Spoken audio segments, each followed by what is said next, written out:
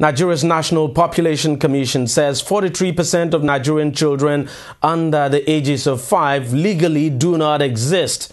The reason, according to the NPC Director of Public Affairs Simon Otene, is that that number is not registered and as such do not legally exist.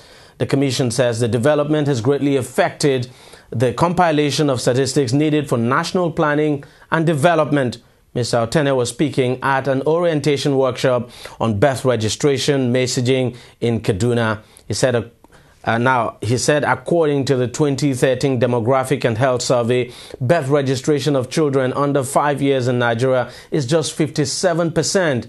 He also decried the ignorance of mothers and caregivers on the importance of birth registration and obtaining of certificate. Otene said the problem is compounded by the fact that three in every five births occur at home and only 35% of births in Nigeria is delivered in health facilities. He, however, called on Nigerians, particularly mothers, to ensure that their newly born babies are registered at their birth.